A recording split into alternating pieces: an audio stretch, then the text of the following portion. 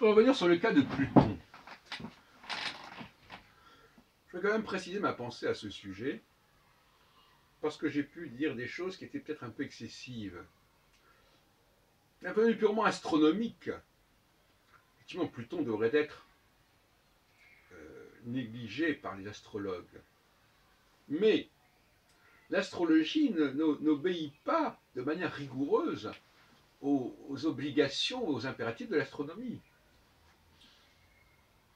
La preuve en est l'importance que j'accorde aux étoiles fixes, qui sont quelque chose qui ne fait aucun sens quand on les relie euh, aux planètes du système solaire. Et pourtant, c'est ce que je fais.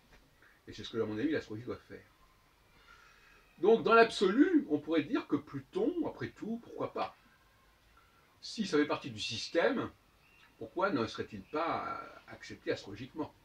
Quels que soient les arguments des astronomes. Donc ça, c'est un premier point que je voulais dire.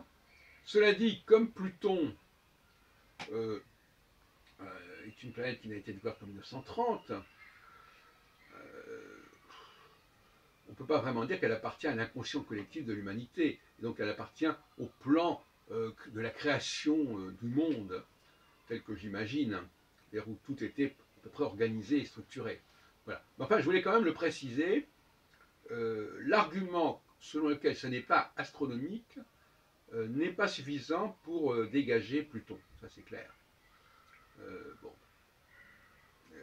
D'autre part, revenir sur un autre point, la question du cycle des saisons. Euh, on sait très bien qu'on dit parfois il n'y a plus de saison. Ça veut dire quoi? Ça veut dire qu'une loi peut être perturbée par d'autres éléments, jusqu'à un certain point. Notamment, les saisons peuvent être perturbées par d'autres facteurs, écologiques par exemple.